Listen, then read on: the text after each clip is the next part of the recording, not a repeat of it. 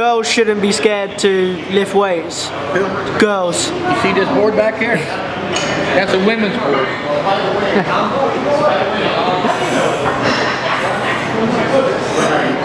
I There always. And, se- and seven, I've got seven girls over 500 in the deadlift. and they're not big and bulky. No, It's a fallacy. it's a fallacy. Women can't big, get big or bulky. They don't have the testosterone in their body. And the biggest mistake you see lifters making today. Uh, not having a, a big base and not maintaining it. And then that's why they get hurt. So you think they should start in rugby or sports like that? They can start in weightlifting, Okay. but they have to do a large base. You see all that sled work? You see all those sleds? Yep. They need the full sledge. They need to push wheelbarrows. Um, you know, I was a I was a manual laborer for years, and uh, that's why I uh, I was a manual laborer at 12 years old. I was a block tender. All right, while I was in school. I think that's why I could clean your two- 260, 14 years old at 140.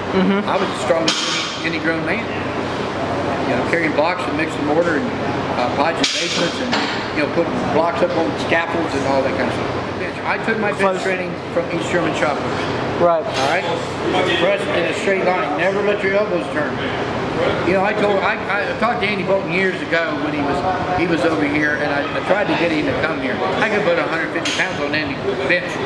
Andy would, uh, you know, Gary Frank the same thing, but I could have done it in the squat. They they would have told over 3,000 pounds 10 years ago. Andy Bolton squatted what 12, 12. Mm-hmm. You know, he just couldn't. You know, he just couldn't deadlift. He could squat too. And but he had a, of course, he's built the bench.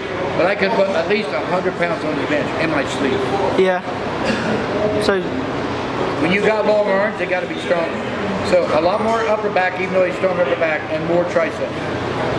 And I, I could have done it. okay. So baseball players Uh, we train baseball players. should they bench? Uh, there's nothing wrong with doing a few benches. You know, if you got weak shoulders, you're going to have shoulder injuries. Yeah. So we do uh, uh, a lot of stuff like um,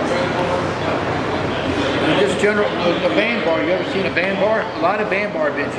Where it vibrates. So they have a maximum contractions on a soft tissue. Yeah.